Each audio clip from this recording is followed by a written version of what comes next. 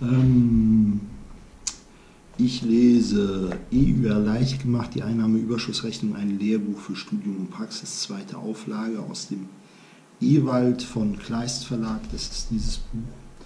Und ich bin angekommen bei Fall 104, der Verkauf an sich selbst. Das Ganze steht in Lektion 21, die Einstellung der selbstständigen Tätigkeit. Fall 104, der Verkauf an sich selbst. So ganz sicher ist sich F noch nicht, ob er das Unternehmen komplett verkaufen soll. Er hat ein Angebot von einem Bekannten, dieses Unternehmen an eine Personengesellschaft zu veräußern, an der er selbst zu 50% Gesellschafter ist. Ändert sich da etwas an der Betrachtungsweise? Ja.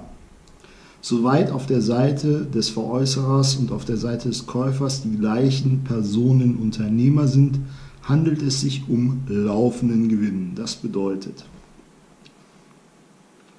der Veräußerungsgewinn beträgt 132.500 Euro, Klammerfall 102. Dann sind davon 66.250 Euro, in Klammern 50% Verkauf an sich selbst, als laufender Gewinn anzusetzen und für 66.250 Euro, 50% Verkauf an einen Dritten könnte anteilig die können anteilig die Vergünstigungen in Anspruch genommen werden.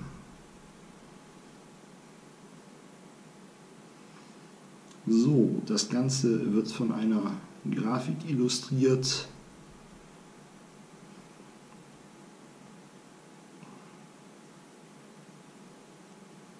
Und es gibt einen steuerfreien und einen steuerpflichtigen Anteil.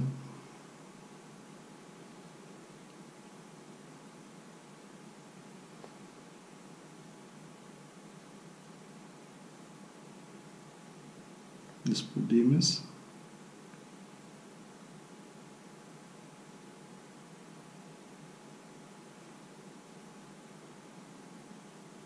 es ist nur der halbe Verkauf, der versteuert wird anscheinend.